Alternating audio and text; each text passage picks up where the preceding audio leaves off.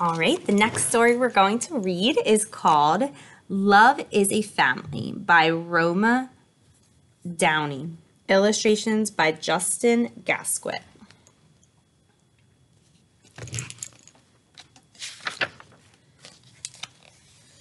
I want a real family, said Lily, slamming the screen door shut behind her.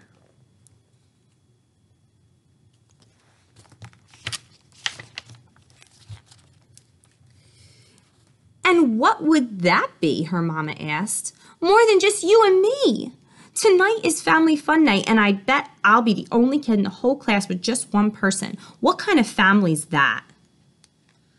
A small kind, teased Mama, but we're still a real family.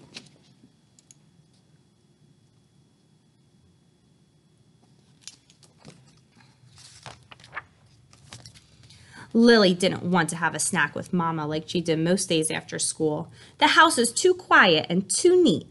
I'm going next door, she said.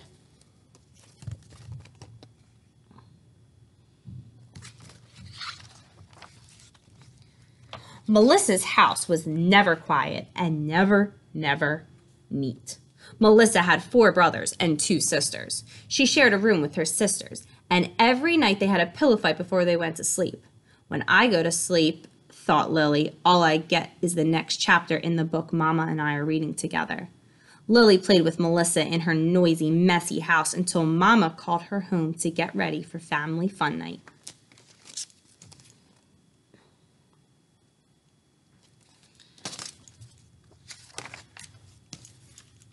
Mama asked, Do you want to call Uncle Mike and Aunt Lizzie to see if they'll meet us there? Uncles and aunts don't count, Lily told her. Sometimes I wish I had sisters or a dad who lived with me, or at least a brother or something. I know, said Mamma. Sometimes I wish that too, but most of the time our little family feels just right to me. Love is what makes a family, and we have plenty of that.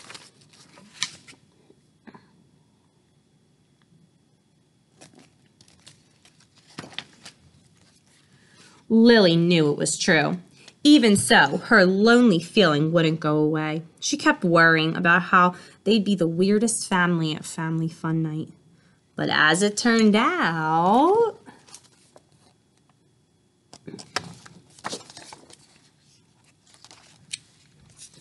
they weren't.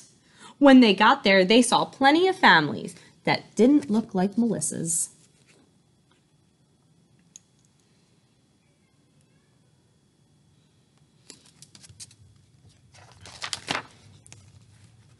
Lily talked to a girl who was there with just her dad. She came back and whispered to Mama, Remy's mom died and she has no brothers or sisters. So it's just the two of them.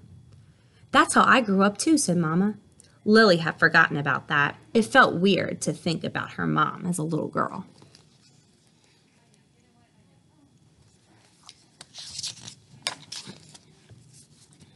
But how could your dad brush your hair and make you feel pretty? She asked. Does he uh, know how to braid? Or get the barrettes even on both sides?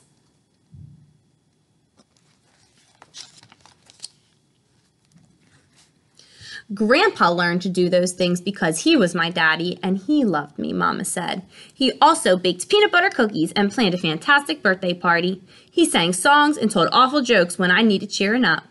There are many ways for families to show love as they are different kinds of families.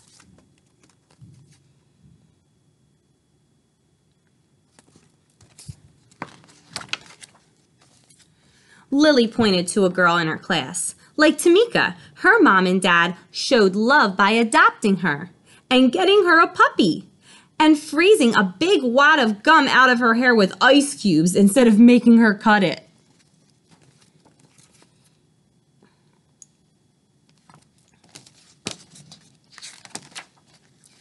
Mama laughed. And, and how about how Josh and Tony across the street, they don't have parents now, but they have grandparents who pop popcorn for scary movies, rescue balls from the roof, pull splinters out of dirty fingers, and catch lightning bugs. I call that a family too.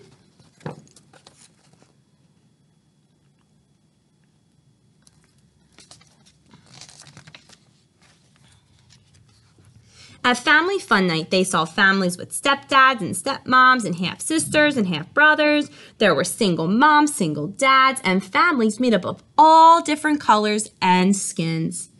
Everyone was laughing, showing their love, all by being together.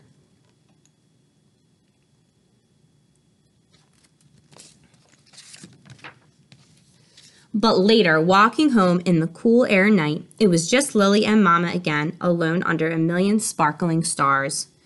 Lily pointed, See that big bunch of stars over there? That's how big Melissa's family is. That's a nice bunch of stars, said Mama.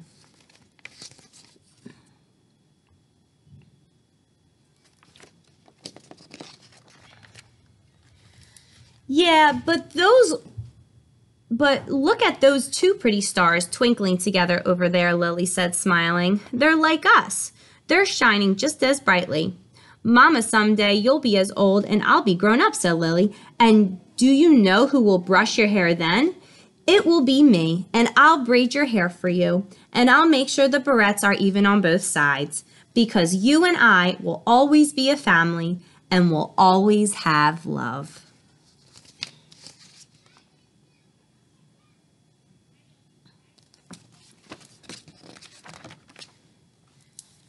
Mama squeezed Lily's hand, and those two stars shined like the brightest diamonds.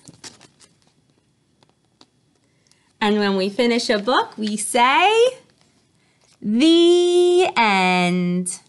Thank you.